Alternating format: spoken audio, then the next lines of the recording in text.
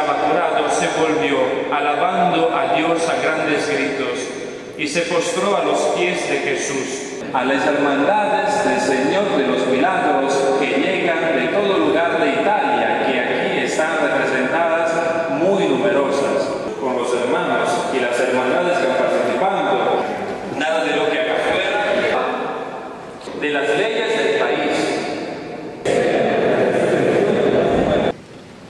Señor os bendiga en vuestros dones.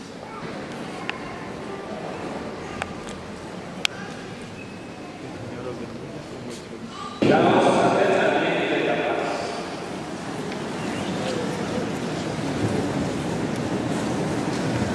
Donde